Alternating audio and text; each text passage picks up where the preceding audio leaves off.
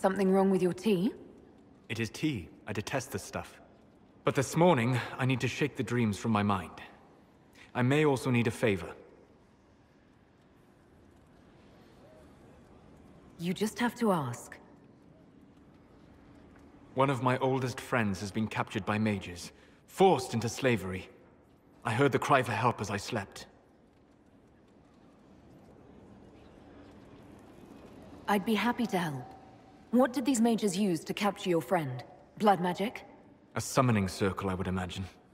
I'm sorry? My friend is a spirit of wisdom.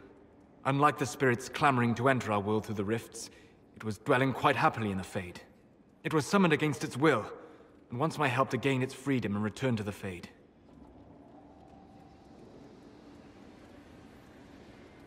I thought spirits wanted to find their way into this world. Some do, certainly. Just as many Orlesian peasants wish they could journey to exotic Rivain. But not everyone wants to go to Rivain. My friend is an explorer, seeking lost wisdom and reflecting it. It would happily discuss philosophy with you, but it had no wish to come here physically. Do you have any idea what the mages want with your friend? No. It knows a great deal of lore and history, but a mage could learn that simply by speaking to it in the Fade. It is possible that they seek information it does not wish to give, and intend to torture it.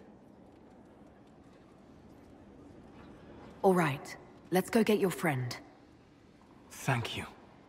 I got a sense of my friend's location before I awoke. I'll mark it on our map.